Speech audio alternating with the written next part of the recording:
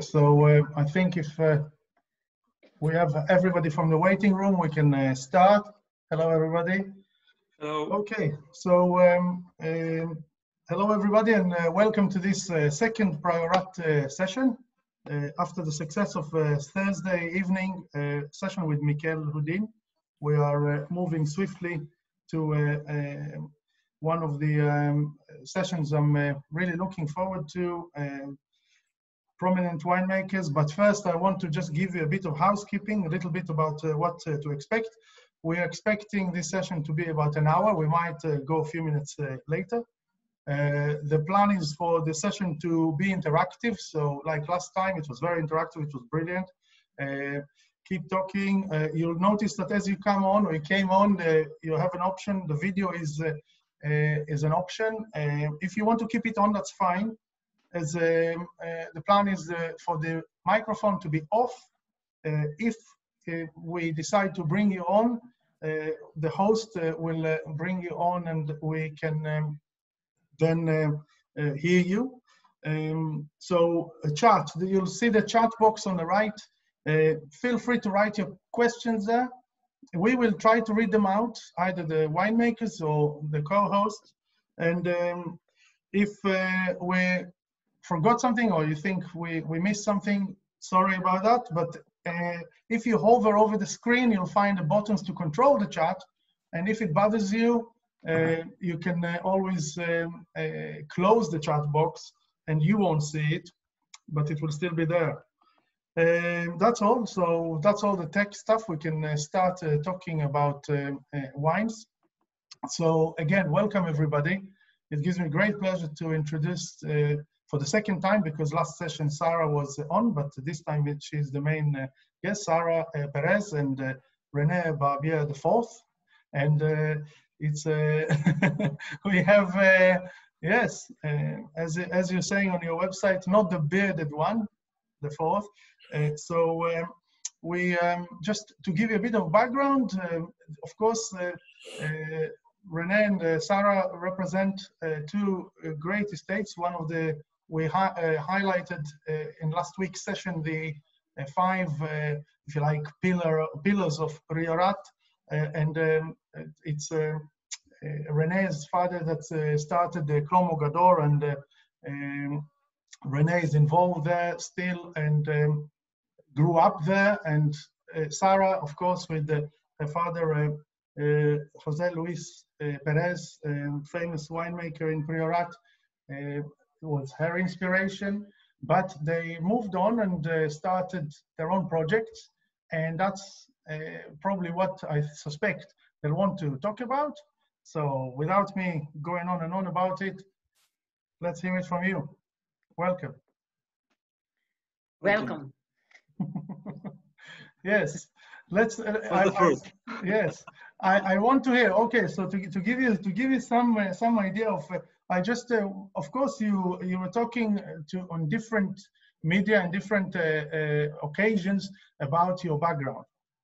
Um, I specifically want you to briefly talk about your um, childhood, about your um, the what brought you to uh, love wine. I know that you come from wine families. It's um, uh, I want you to talk about what it's like to be uh, um, children of um, famous winemakers. And if you start from there, I'll, I'll take it I'll take it forward. Okay. well, um, um, would be not easy, huh? but um, when we have arrived in Priorat uh, with my parents um, in 81, uh, my, my, my father wanted to move from, from the city to a, a, little village and, and to be connected to the agriculture again because he's coming from a, a, a little village also. And when he arrived here, he discovered that uh, the main um, cultive, the main crop was the vineyard, and people cannot study about that, you know. So it was not uh, something about a prestigious thing. You know, the people here was not um, proud about to to um, work on the vineyard, and that was the, the, the most important thing in the region. So he was obsessed to make a school about that because he mm-hmm. thought that if the people could form themselves, they could love that that job. So the first thing she she he made was was this the school of viticulture and enology here in, in the region in Priorat. That was the first school in Spain uh, about enology and viticulture, and that was very important because it was a referent during a lot of years in the main Spain about enology and, and viticulture. And then uh, Rene's father was contacting my father because wanted to make something special in wine here. So they they have started uh, to do that, you know, all that movement of recuperation of, of the wines of Priorat. And and and I was very young and and absolutely I I, I didn't like wine at, at 14 or or at nine or at 15 and and and when i was a little bit uh, older around 18 or 19 well what what uh, I, I, I really didn't want was to make the same as my parents uh, did. So uh, I, I was just fixing my my vision my view to to biology animals plants but but in another mm-hmm. way not, not in wine because I, I used to work every weekend. I was coming back from Barcelona and, and I, I used to work at home.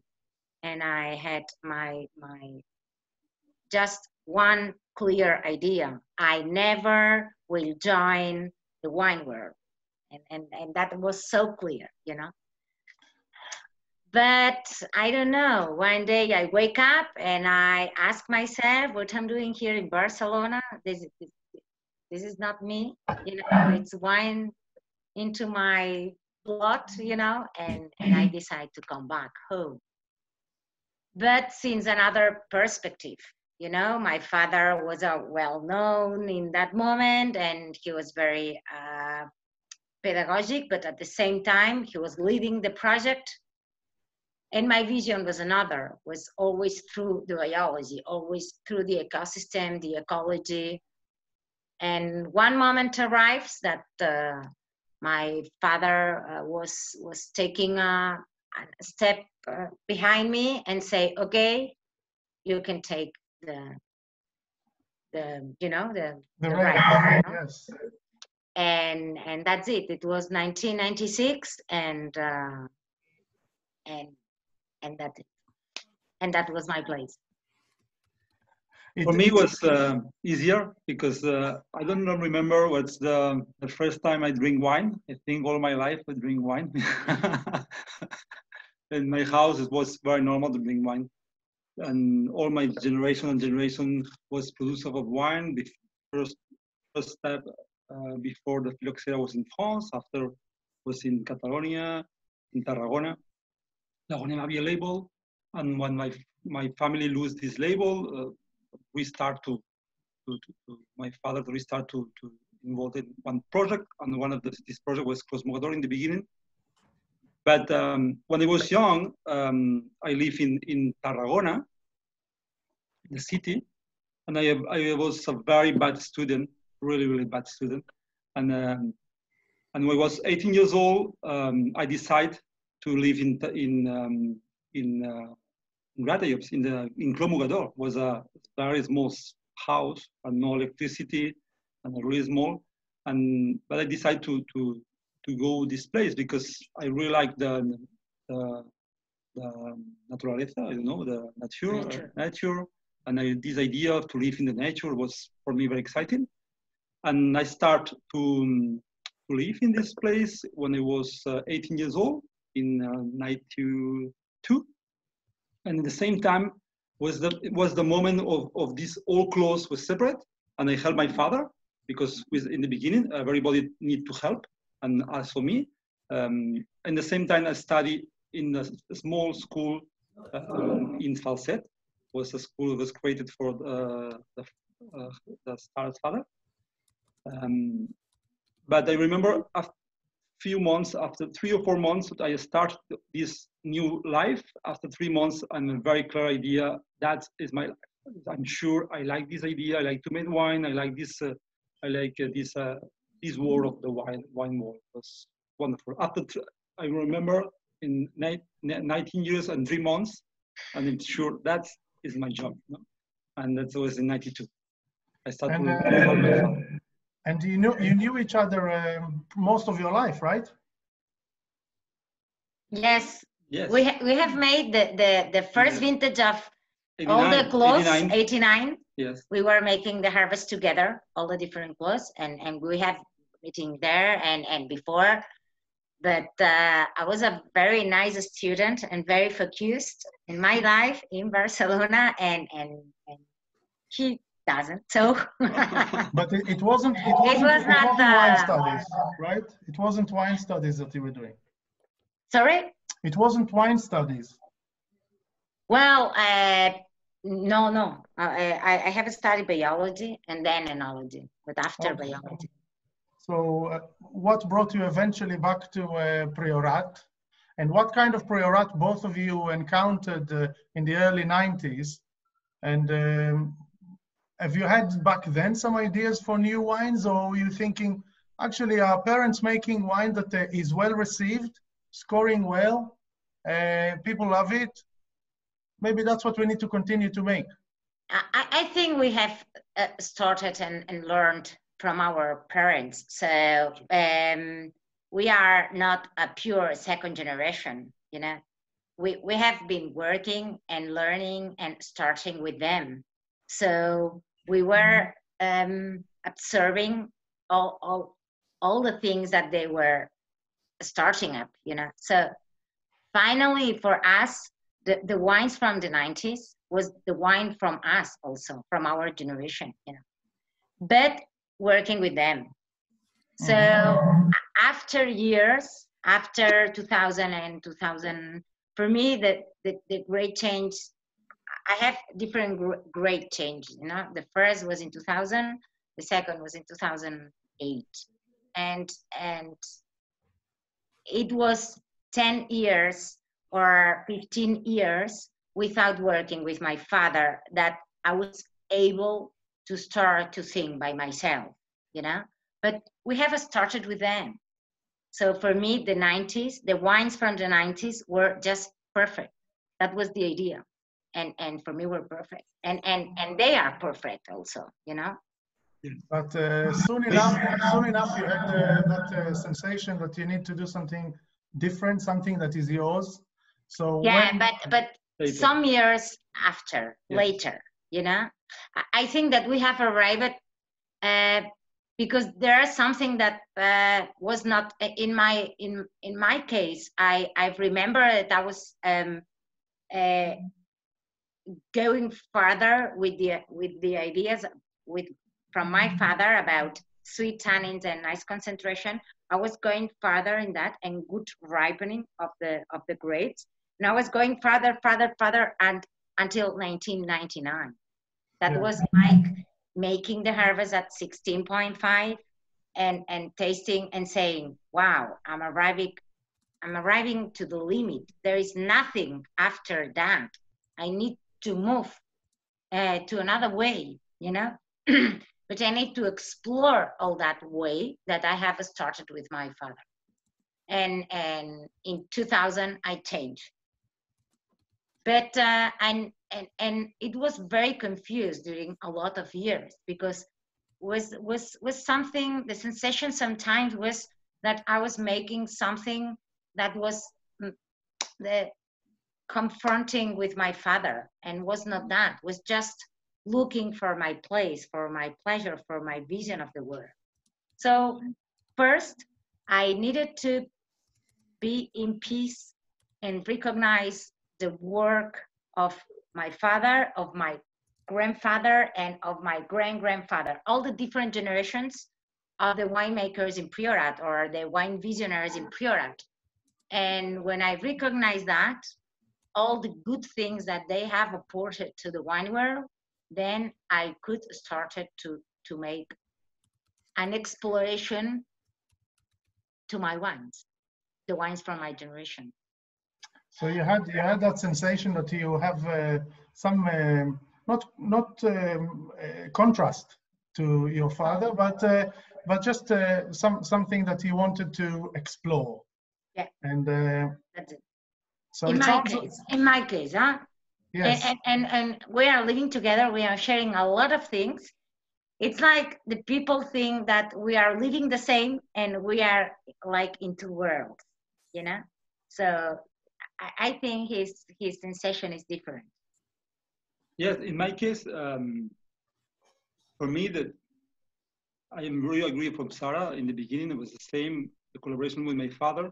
But probably for me, the, the moment more important to to to sure is when when we start to make wines, Sara and me together, and we start new projects like uh, La Viña del Buito One, uh, Sara René O2.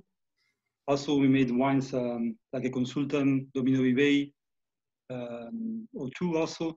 That was really, really, really a new new approach a lot of the, the new uh, influence, very important in that moment. And in case of Mogador, that's arrived these ideas, these are new ideas for me in 06, and the second step was 11. For me, the moment more important to change it. But in my personal, um, I think that sure, when Sara started my life, sure, a lot of influences here, no? And these new projects, also Venus Universal, when I arrived in the 06, uh, many things changing. And sure, I also now uh, one part of Mogador, and Mogador is different, sure, because um, because I, I know Sara and we started, we made some wines together. Maybe I can jump, jump in for a second. Well, whoops, a lot of echo. Ah, okay. Um, but basically, just uh, maybe we can kind of we can talk about. Uh, you have you have a lot of projects, you guys together. I mean, there's. I was talking with uh, someone when I first visited you eight years ago, and you have four kids, and he said it's good you have four kids because there's a winery rating for all four kids. Uh, because you have so there's Clos Mogador from your side, Rene. There's Mas Martinet from your side, uh, Sara, and then there's also your cousins who are running Cims de Porrera in Porrera, which is a lovely project as well. Uh, and then together you have La Venus Universal, Venus La Universal, sorry, in the Montsant. And then there's the Bellvisos project, which is sort of a separate thing from from from Mogador, but you make it at Mogador. Uh, and what else we have? You have Vinya del Vuit, which is a really interesting project. It's a very small thing. If you ever come to Priorat, you should check it out. It's them and six other friends who make this one wine together. Really delicious wine with super cool labels, different label every year, but but always awesome. Um, and then what else? You, Sara, you also have a project in Vio Tarragona, a little Yes. bit. You made okay. Oh, it's both of you. Okay, I thought it was just Sara. Okay, but it's both of you. Um, and then what else? What else do you guys have? I, I feel like I'm forgetting something in there.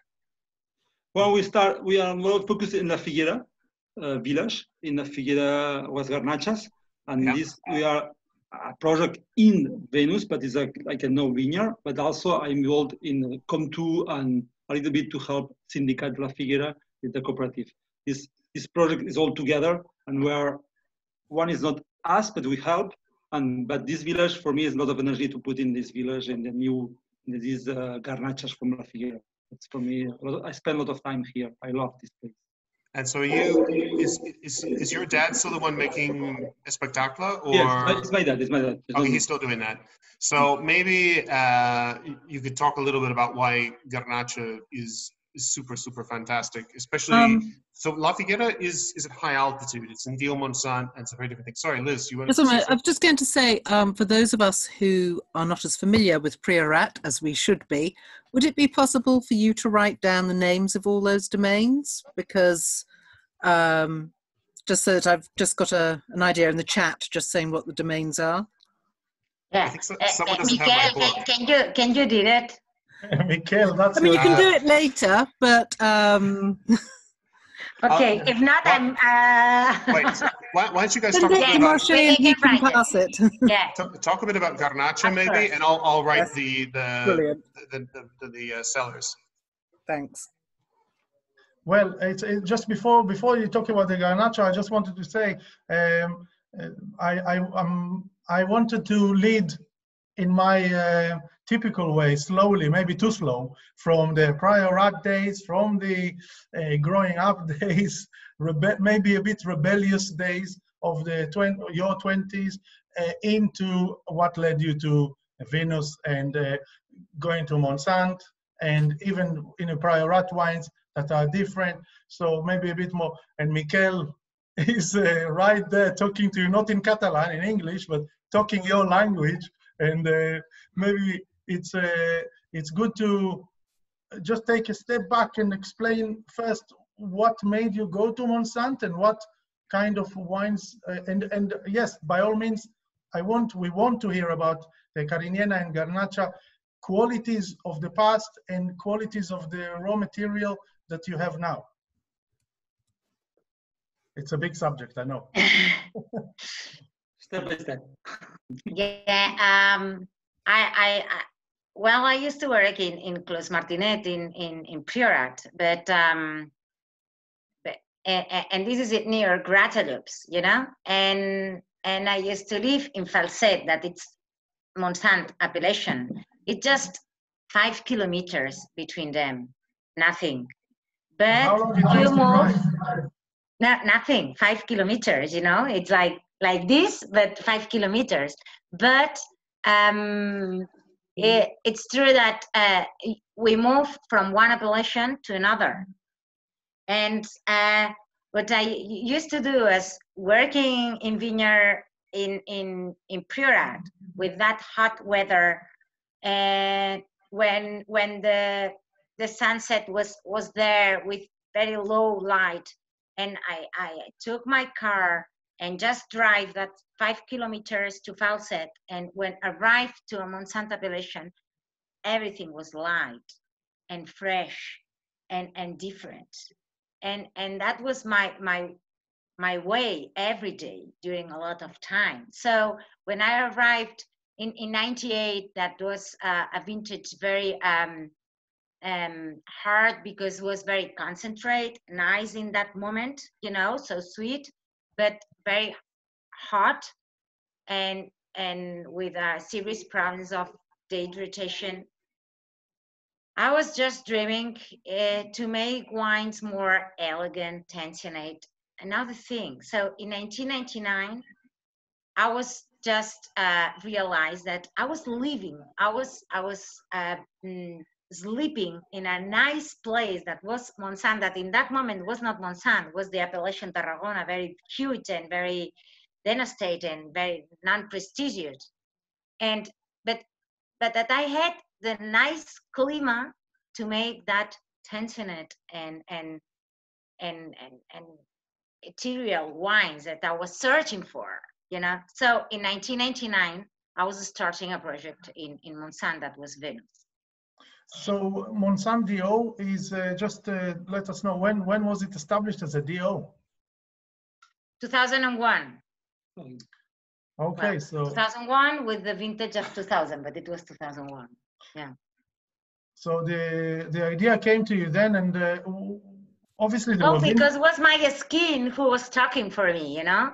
It was like something that I was, I- I had the experience and, and I was searching to make, I was uh, working in Martinet to make wines more elegant, more tensionant, more ethereal, but was not possible, you know? And when I was arriving every day to Falset and finally I said, oh my God, I'm, I, you know, I, I, here I, I i need to make the wine here in in in Montsant in falset you know? So i have started in Venus.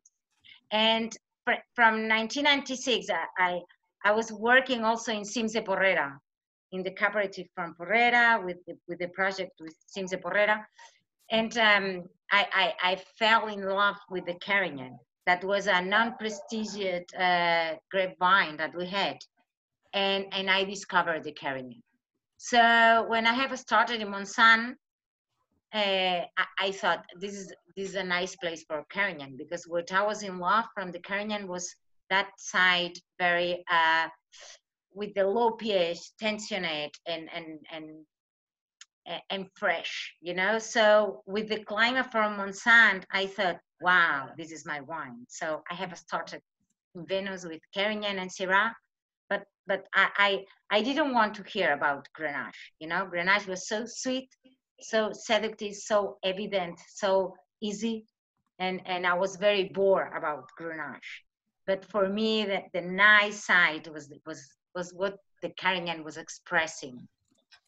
But uh, now, uh, sorry, now you have uh, Grenache uh, in a majority of. Uh, I, I, I just checked the latest uh, vintage of the Venus and Dido, and both have um, a majority of Garnacha. Well, no, Venus no, but Rene came to the project and he brought the Grenache, and I said, okay.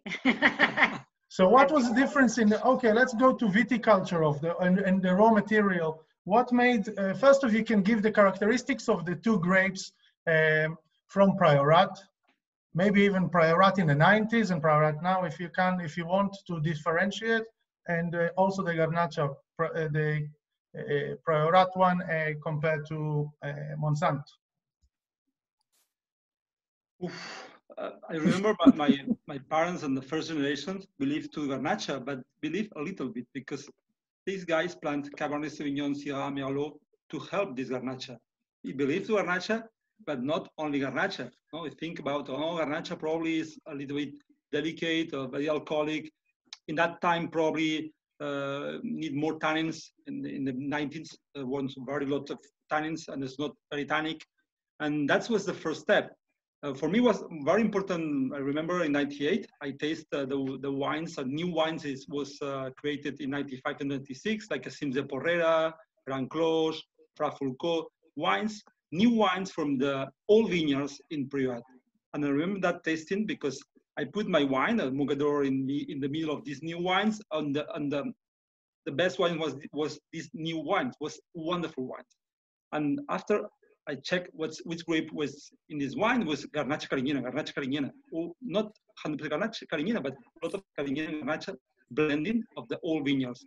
And that was, wow, the Carinyena is something special. And I remember in Mogador, we, we rent a new vineyard and we introduced the Carinyena 20% in 99.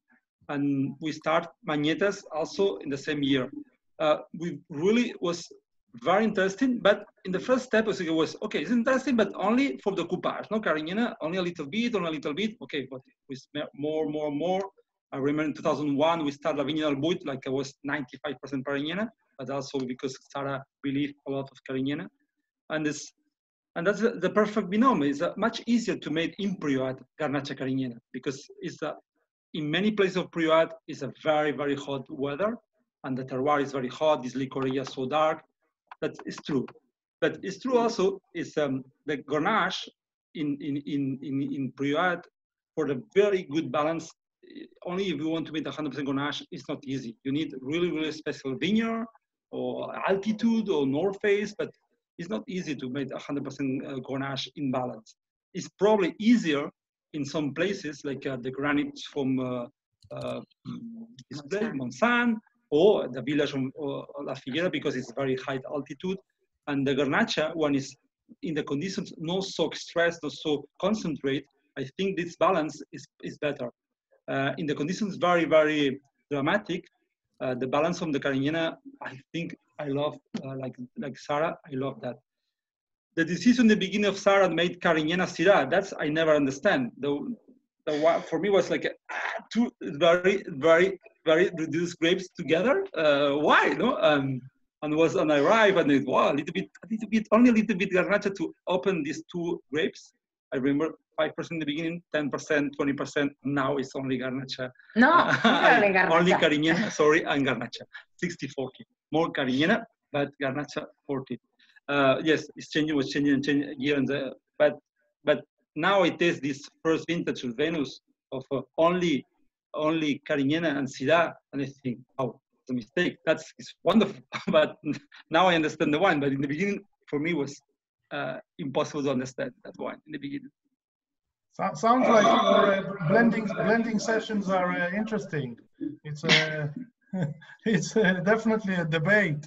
Um, yes, so Alberto is asking about uh, the main differences between Priorat and Montsant. Uh, is it the Licorella uh, soil or primarily, or is it altitude difference, differences? Everything. They are two uh, appellations completely different. So the, the, the center of the region is, is called Appellation Priorat, and it's very dramatic, uh, the, the geography, because it's a schist soil, Licorella soil, that it's very dark and and that confers a, an ecosystem completely different from Montsant. All the plants that we have in Priorat are, um, it's difficult for me in English, but they are um, persistent um, leaves, you know, very dark color, um, very aromatic compounds, and everything is dark in Priorat.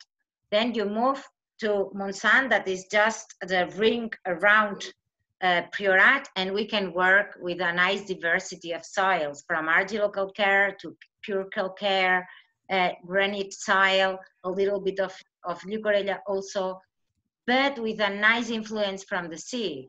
So the difference temperature between night and day is very acute in Montsant and it's very, it's and it's so high in Priorat and day, you know? You go to um, uh, the granitic side, especially where we work for Venus, here in, in Montsant, it's it's granitic soil, very degraded, like sandy soil on the beach. So when you go there at midday, it's burning. Then you come back by night and it's completely cold you go it's the same here you know? So it's it's a temperature that it's, it's transmitting to the grapes. You go to Priorat over the Licorella, you go at midday and it's burning and you go by night and it's burning. So it's just taking all the light converting into heatness and it's cooking the grapes. So the concentration the aromatic compounds are completely different you know? Geography the altitude so the climate so it's two areas that they are very close, but they are completely different. You know, mm-hmm. so it's it's very nice that we can manage different vineyards in different places because we can play a lot. Um, well, that, that explains us the uh, uh, main differences in uh, in regions, but uh, I I want to know if um, your uh, vinification of the wines um, is is very different. Maybe you can highlight what is very different about the differences between Priorat, even the same grapes, the same kind of blends uh, between Montsant and Priorat. Yes, I think yes. I think vinification is very differently, Sarah and me, but uh, yes, in general, it's more. Yeah, but you are vinification, your vinification yes. system in Priorat and here is also different. Yes, because so because it's not just you and me. No, because uh-huh. I explained. I think the um, the typicity from the winery is important also. We, I, Mogador, I have a history of my father came to how, and I think Mogador has a style of the Mogador, the team. I was, I think it's more 15 together with my team. We are NRC and we are one style, no? Okay and i also i i work with my father and my brother no and okay i'm here but it's all the history of the wine and the licorella and the, and okay in this place i think uh, i changed many things but in all my life always a long long maceration. It's like 40 days or 35 uh, days or 50 days, always a long maceration. That's one of the style of Mogador. Uh, that's is not changing. I changed many things, but that is not changing. No, that's one of the style of the Mogador. No, very long aging, always in oak. Now, okay, now it's Foudre, now it's all all Foudre. In the beginning was barrel and small and new, but this the idea, no, long maturation, long aging. When when you start a new project like uh, here, and we are the other Yeah. other. You heard me? Yes. Yes, yes, I can hear you. we made a new wines We a new, with a new person, a new team. It's very exciting to try to make a new things. Okay, and sure, I made different Dido um, to to to Mogador, but it's very exciting to make a different a difference. Not because I have a different only a different grapes and different terroirs. Sure, every terroir probably has a, a better way, but also the history. Uh, is here, and I think that's uh, for me. In my case, it's important. No, Uh, it's, it's, it's a, big part. No, to respect that idea, and we change, but a little bit, and uh, slowly, like this. No, and a new project. When you start a new project, you mean what you want to do, and it's okay. When you start the wine from uh, from uh, Tarragona, uh, Rosé, totally different ideas and things I never made it uh, never in my life, and I made in that in that project. It's very exciting, you know. So you have you have better opportunity to uh, experiment uh, since you moved and since you make your own wines. But that brings me back to uh, to your parents and uh, to the wines that they made. And uh, I want to ask something about whether you think. First, I'll ask, what do they think about your wines? Because that will tie me to what I want to ask. What do they think of your projects? Not specifically about the wine, but your way. Wow. What's the, no the, the idea of uh, in my case is uh, made a project uh, always evaluation always to me I don't know if better but always to learn about piensa tu padre? ah my my pais. parent ah sorry sorry I think it's our partner. I think it's very uh, They are very Happy. proud. very happy I think so I, I, I, Yes. I, I'm, I'm happy you said that because, uh, of course, it's, it's important, but it, it, it leads me to what I wanted to ask about uh, um, the era, the time that they made wine, uh, and to ask you if you think they made wine, uh, if if seeing what you can experiment with, make them a bit jealous. Because uh, as uh, Rene was mentioning, the barrique and the uh, long maceration, uh, it's maybe um, the kind of wine that they um, made made successfully and then maybe feeling that it's what expected from Mogador, from um, um, Mas Martinet, and um, it's it's almost like a recipe you cannot really change much, and uh, seeing what you can do and uh, experiment with the terracotta and with the big uh, uh, what uh, uh, foudre is uh, um, and the shorter macerations and the wines that you create. Are they s- s- thinking we wish we had this opportunity? Yeah. Or you never heard them say that? as sentence over from Well, I, I think that that they are th- they our parents um, they they have felt uh, felt uh, very free always, you know, and and they are happy that we are exploring other things. Sometimes they are like, "What are you doing?" My, my father is laughing all the day. It's like, "Wow, really? Are you crazy?" But but but he is in peace by himself and he is always like super proud you know and and he's telling me that he's proud.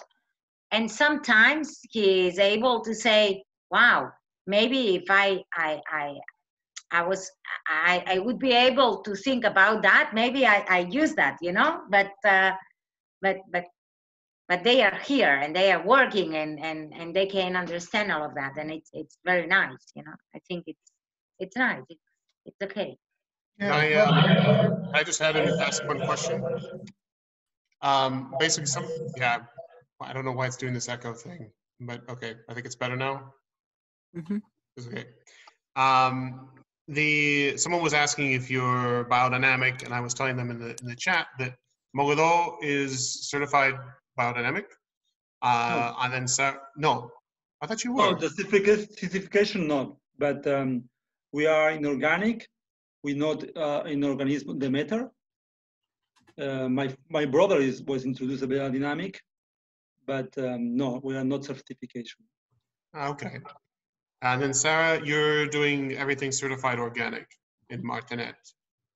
Yeah, yeah. I, I certified organic because for me it's the minimum because I, I used to uh, buy uh, the things for for eat at home and and and and I, I used to just to check if it's certified or not.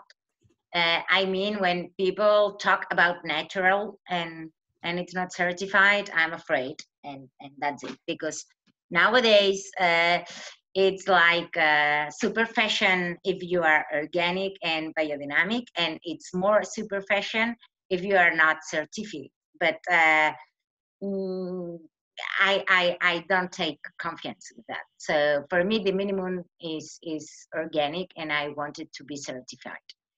And it, it's a question of confidence for me and uh, I'm not working in biodynamic because um, I'm I'm not feeling nice with anthroposophy from from from biodynamic, but um, I'm I'm very uh, super fan from Pfeiffer, the collaborator, and and I'm doing a lot of things and and working in that way, but uh, I'm not anthroposophic, so I cannot be biodynamic. So for me, this is different. It's not a question of manage of the vineyard if not it's a question of life. So i moshe could i ask uh, a question about a specific wine? Of course of course okay. ahead.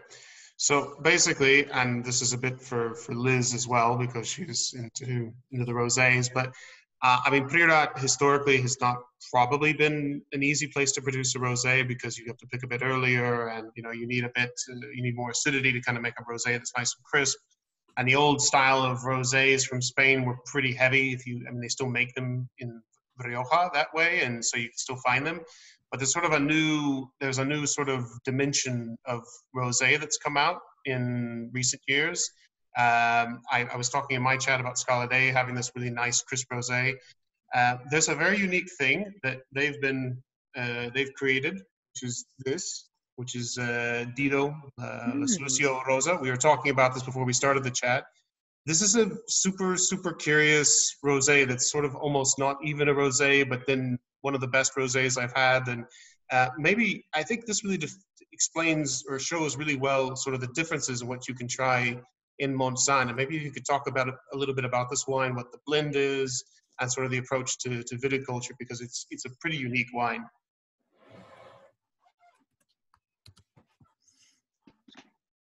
Yes.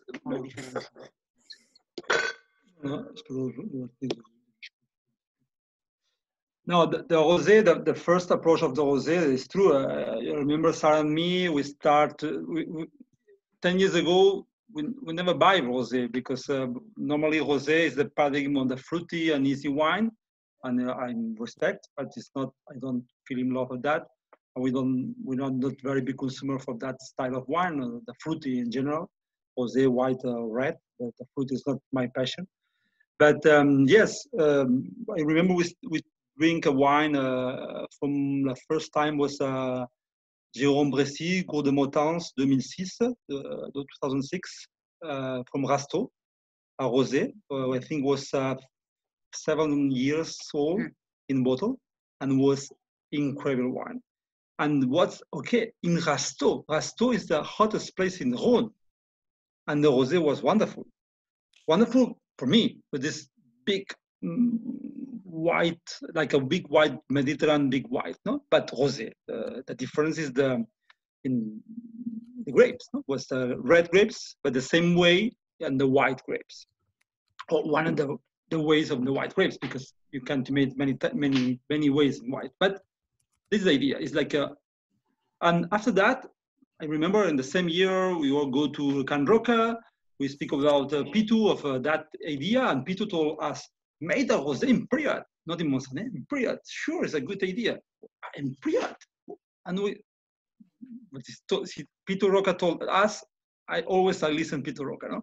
and I and I try. The same time we start this in um, Priorat to make um, experiments from rosé, like uh, the Pedre rosé. Also, is now many years ago we started the first experiment. In the same time, um, it is a lot of lot of rosés in the world in the in the same year, and we experiment to, to make this rosé of Dido rosé. And it was one of the wine more intellectual, more look. Uh, we, we find an idea, no, the complexity of the champagne, but very Mediterranean and very this white, very big, and and that's start me the idea. Okay, I, we choose the garnacha. Ah, 14, nice. We chose the, the garnacha, the garnacha grape. Like it, I know the garnacha has the full body. This no, I know the garnacha when when it's uh, quite is very alcoholic, but this is nice because in the bad in the slow temperature, dark press, sure we have very long very long fermentation. Always that this this rosé is more than 16 months, six months, eight months, a year to finish sugar. That's very interesting because this low low fermentation have created aromas like a champagne aromas, very creams, the yeasty, the the, the, the this typical bread or panaderia, I don't know the name, you know, the, mm-hmm. the name. That's because of very, very slowly fermentation. That's one idea. But after we introduce other grapes like a Macabeo, why Macabeo? Because it's one of the best grapes for aging. It's, it's, I don't know why it's aging so well, the Macabeo. I don't know why. But if you taste Tondonia of Jura, is the, the wine, uh, uh, the best wine for, for tasting uh, many years. Okay, that's Grenache is here for this idea, the Macabeo for the structure of the wine, and after we introduce a little bit the Carignan, in the beginning was not too much, for the acidity, for has more acidity. Years and years, we put more and more, more and more Carignana to, to, to keep this idea of this, this, this idea of full body and structure, but more acidity. And after, another thing was very important because I don't like the fruity, aging, a very long Asian. That was in the beginning the idea, very long Asian. Okay, and that was very funny because in Priorat for reds, it's very difficult to, for me, eh, the idea to, to, to use a very old oak because if you imagine this big Priorat, very big structure, big tannins, if this big wine has too rustic, it's impossible to drink. But the rusticity of the very old oak in the in the profile more light no? like a Rayas. Rayas is a big example, one of the wine more exciting in Garnacha. is a very old oak, but the wine is not big, big in, in, in, in tannins or in, in, in structure. And this guy used barrels from 100 years old. That for me was wow. And the idea to put this rosé in a very, very old oak, but very, very rustic, because it's, it's 16 months in a 50 years old Fuder from Mosel. This is the Asian, this, this, this, this, this, uh, this wine, was the idea of Rayas. Why not? It's, it's, here we can to use the rusticity. Here we can to kill a little bit the, the, um, the, the, fruit, no? And was that's very risky. We, we buy these very old barrels and we put the wine and wait and wait and wait and wait. And after, okay, in the beginning was only a few barrels because in the beginning we made only a thousand bottles, okay? Uh, we made that. We think was interesting, but we think, we didn't know if somebody liked or not. We think well, some freaky sommelier sure it's, it's possible to, to sell some guys, but after we well it's okay. We sell quite fast. We made three three thousand bottles, and after more and more and more. And now we're very surprised because more than ten thousand bottles of this style of wine. We think wow, um, it's, it's nice because it's not easy wine to understand, no? Uh, probably it's okay. It's not easy wine, but it's quite beauty for people like it because mm, sure 10,000 bottles is not only for sommeliers and very sure many people mm, drink wine and I don't know why, but it's for us a very a good uh, surprise not to sell. Mm. But one one thing, um, why does it do this? Okay. Um, the uh, so is it going to stop? Let's see. Okay. Um, I, I we, this wasn't really mentioned, but uh, as I understand it, uh, with with Venus, basically, Rene, you're doing more of the cellar work, and Sarah, you're doing more of the viticulture. Um, so maybe you can talk a little bit more about what you're doing in terms of viticulture for for the rosé or for the whites. Uh, are you having a different approach for the wines with the viticulture in um, in Montsant? Or is it very similar to what you're doing in Priorat? Um, here we need to be agreed, no? So uh, during a lot of years, that was not easy. I need my parcel, my expression, and I'm fighting for that. And Brennan is the same, and it's fighting for that. So to be, you know, eh, just from two to make one, that was very difficult. So finally, my great passion is the viticulture, and the great passion of Rene was more the cellar. So we decided to separate that. But we need to be in touch because what we have learned is that um, depending how he wants to arrive, he will work and he needs to receive a, about a, a special balance of the grades. So we need to be agree in that term. So, well, it's it's uh, we are now we are trying to to to make it more together all the decisions because it's it's very very important, you know. So we changed the, the parcel of rosé. We we start with some parcels and we talk about uh, try these others, and we change them. We introduce like um, the last parcel of granite of uh, Barriol Tempranillo. Mm. And we think about wow, why not? And we introduce. But them. we are agreeing that vision. So um, it, we are drinking the same wines and and there is a lot of times that we are not agreeing all the terms but we try to to draw a, a, a commune zone to be agree you know to be to be comfortable with that you know? that's it Mm. Now, uh, Miquel was uh, asking you about this uh, beautiful wine, which now I, I'm very curious to taste, and uh, I want to ask you. we about- will send a bottle really yes, Liz is first. I, I want to ask about the wine that I uh, read uh, uh, again on your site and uh, got my curiosity going. Is uh, Sarah is your um, um, Venus uh, Blanc? Uh, that is. Um, you, um, it sounds fasc- incredible the, the process that it goes to the aging and the, so maybe you can highlight this wine for us well it's rene so rene can explain Explain I'm taking. I'm taking care of the vineyard, you know, and I'm so focused on the vineyard, you know. What's the vineyard? Tell, tell this vineyard. It's very special vineyard. This is a, a special Xarel·lo, and uh, it's a it, it was a, a nice surprise for us because there is it's it's not a, a common grapevine in Montsant, Mansal.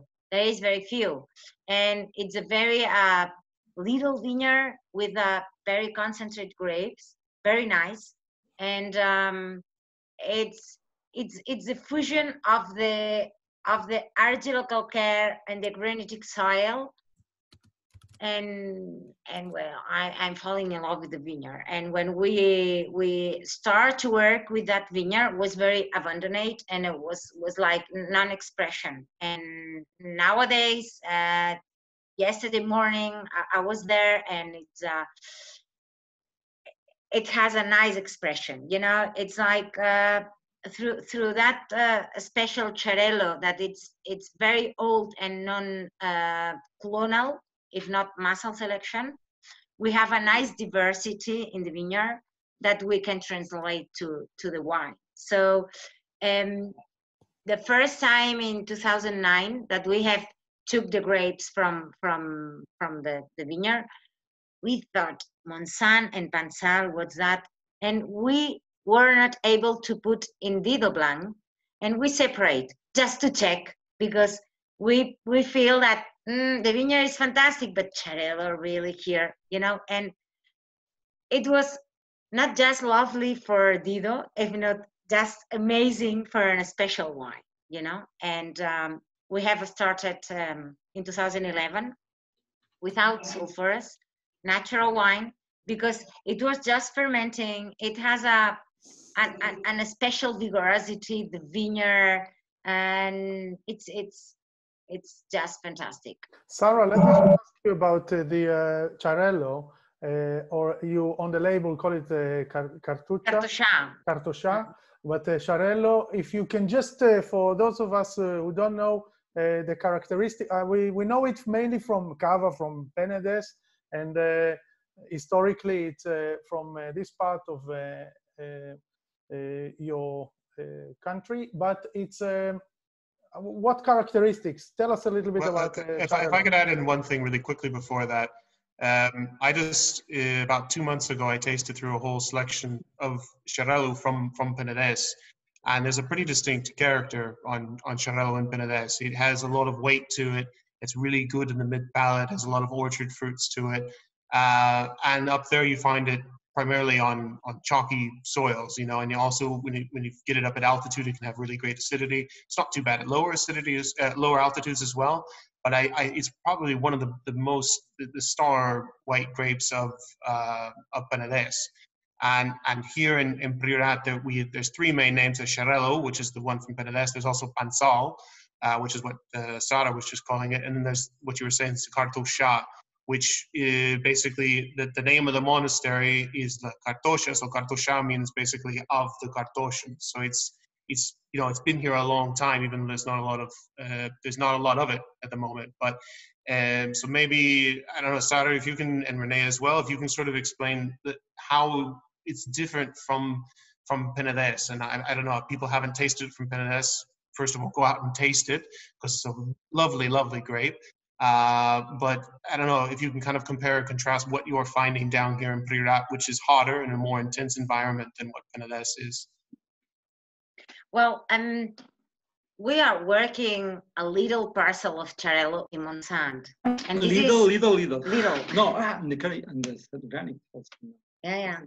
But but it's um, we are we, we know that you know. Our reference was Penedès, and it was nice but was not what we were searching for, you know. So for that, we were making separately at the beginning. But uh, it was very, very nice, a surprise that this parcel is, is very peculiar. So for me, uh, I, I'm very bad in, in blind tastings, but uh, if you put a, a, a mm-hmm. white Venus, I, I say this is white Venus. And I don't know if this is the character of the grape variety. I don't know. I'm just mm. working one parcel and and and and it's very special, you know. So it's full body. It's very strange because it's it's ripening and you can see th- that it's taking like brown color, you know, and it's like wow, it's it's at the end of September, brown color, and you're tasting, and it's and it's like wow, I, I, I need to wait. But all that that you can see with your eyes is that it's overripe and it's not overripe. So it's concentrating it's very complex it's very full body. And and it's something very special. All uh, for us it's very difficult to um, to determine the date of of of the harvest because it's like three or four weeks that we are saying Oof, maybe maybe next week huh? It, and, it's not moving. And everything the, the aspect of the leaves the, um, the, the color of the grapes everything is is is crying. Ah it's it's harvest moment. And when you taste it's another thing. And it's like so i cannot compare. I i'm we are just vinifying this special parcel. That's it. So and it's different from the rest. And and it's amazing and the vinification sorry. years we finished for the Xarel·lo was the this grape is many years the last grape we pick in after the reds after the Caragnanes sometimes it's the last wine we pick. And always we have a very good acidity. If you compare to Garnacha Macabeu two grapes very nice but the acidity is, is much less than these grapes. Normally has less alcohol. Uh, it's very interesting because in the vintage very a lot of water which is difficult vintage is not a problem. We are very big skin, never is um, damaged, and is uh, we have a lot of opportunity to, if you want, to make a very good uh, ripeness if you want, because we have a very, very good acidity, not a big alcohol, and the skin is always here. You can have the possibility to pick very early and make a cava or very, very uh, uh, white very but we can to have a big um, or more a, a, better or longer um, maturity, and also we have a very good freshness. I remember the 11 vintage is the only one year old like this is near a 15 degrees alcohol in Xarel·lo. It's, it's very difficult. Normally it's much less. But you taste 11 and we have the freshness here. You have the, it's, it's, we have a balance. Uh, and and we have a, a new uh, parcel over granite and it's completely different. The, um, uh, to, to make a, a, mental a mental structure. Um, the mm-hmm. old vineyard from uh, calcareous granite, it's like Loire, and the pure granite is like Burgundy. Chablis, it's, Chablis. Yeah, but it, it's completely different, and and it's like wow, what's that? So the nice thing with Xarel·lo, it is a very quite high quality grapevine, but can gives you the modality of the terroir. So it's not a question of the grapevine, you know. It, we are not talking about Grenache, Xarel·lo. I don't mind. The parcel is incredible, and when you move the plants to another parcel and you plant, it's another thing. So the Xarel·lo gives you the opportunity to express the landscape, and this is more than great.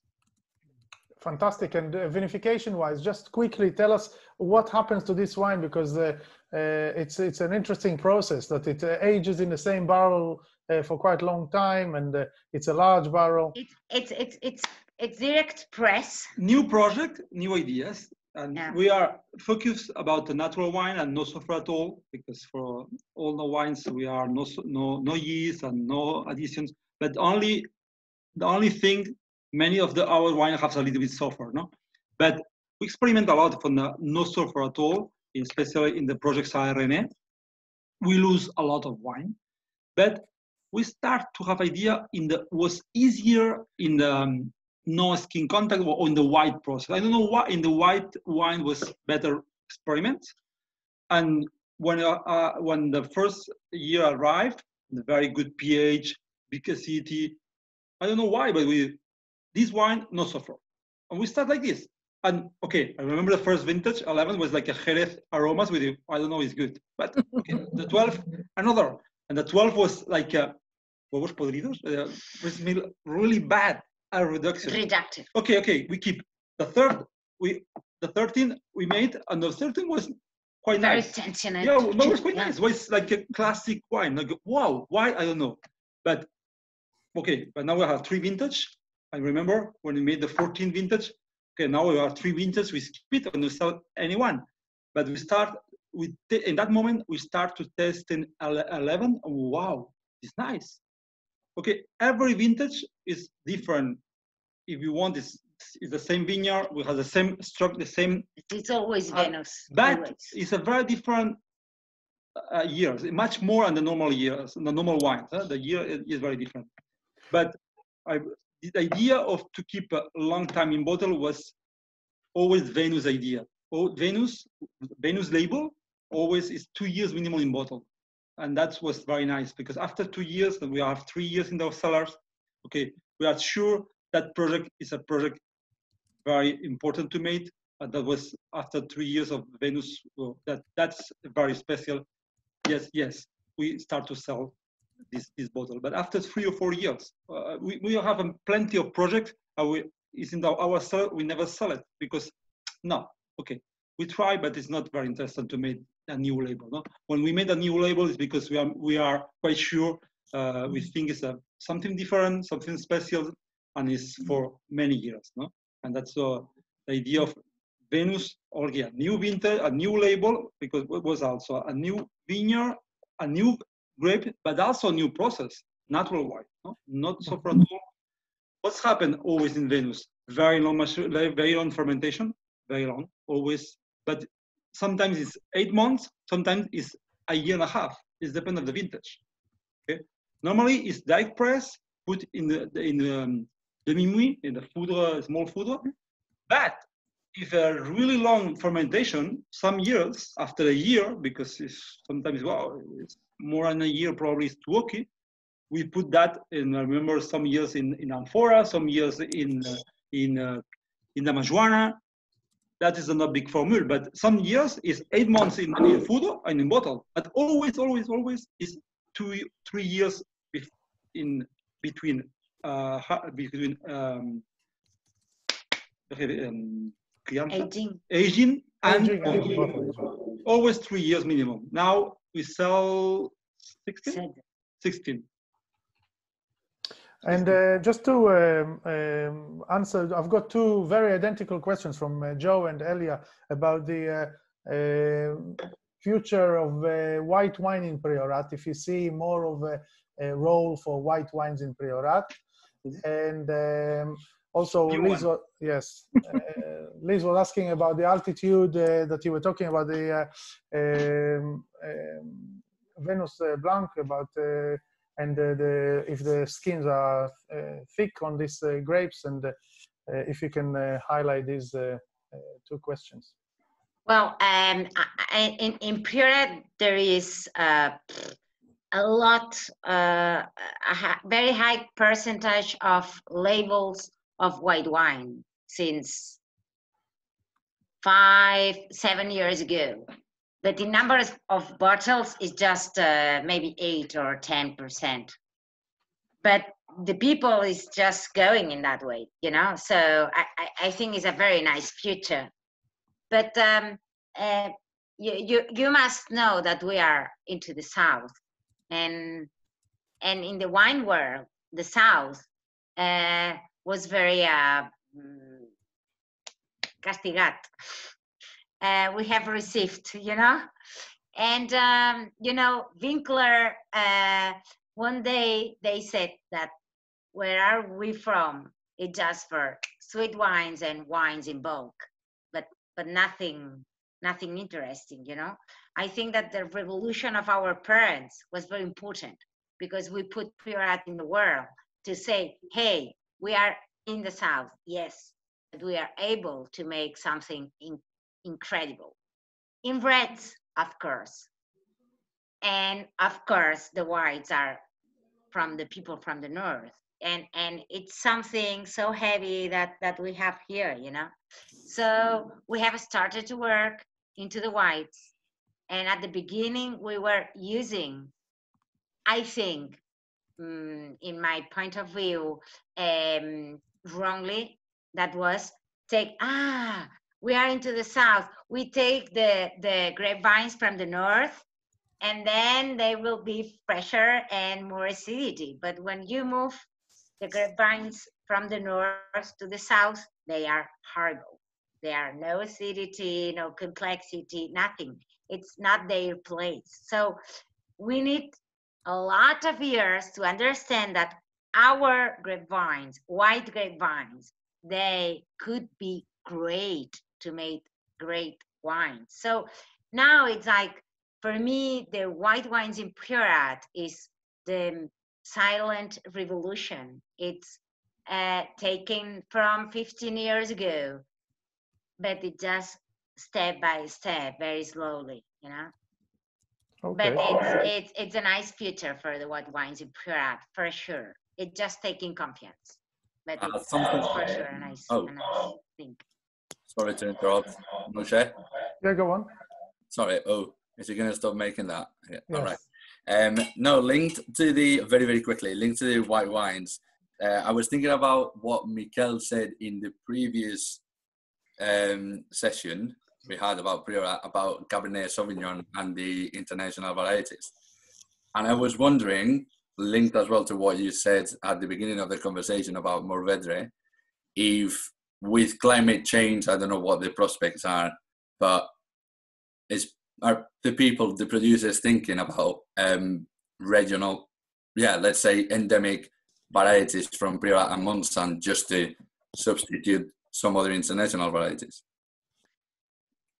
Yes, but it's not just for for climate change. I think that the um, pressure of the market it's it's it's harder than than the climate you know the pressure of the of the climate. So in the last 10 years or 12 we moved as producer um, to to to recuperate traditional and and and and, and disappeared uh, grapevines from our area to substitute you know.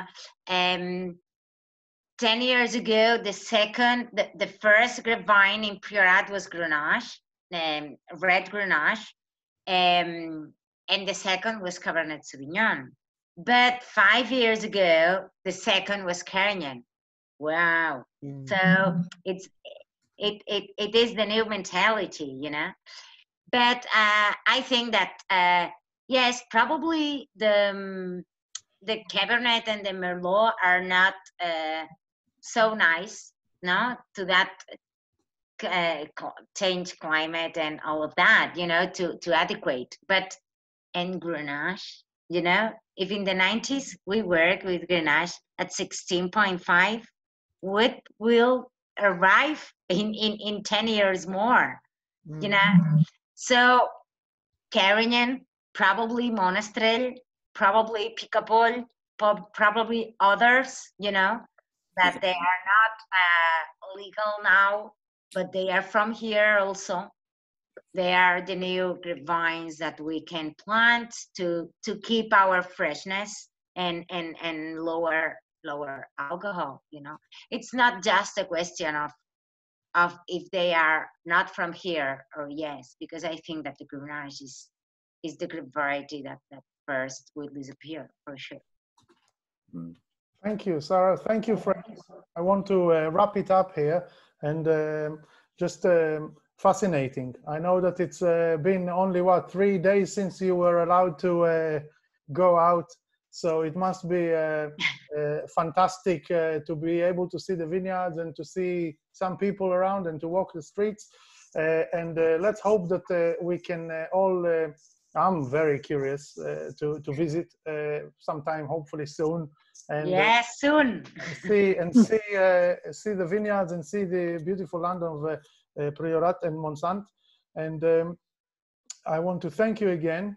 Um, I just want to uh, tell you, uh, look forward to a session this Saturday. Very different. You're all welcome. I've got uh, a special guest. I somehow managed to uh, get uh, Jean-Michel Cazes uh, from uh, Mm, uh, cool. Lynch-Bages uh, to uh, Mm. to uh, talk to me.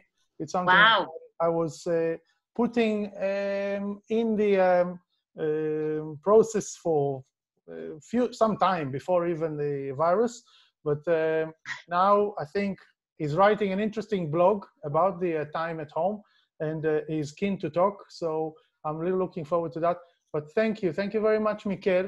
Uh, the session last week was fantastic, and your help tonight was excellent. Uh, and thank you for everybody for joining us. And thank you Be safe. Thank you. Thank you very much. Thanks, guys. Bye bye.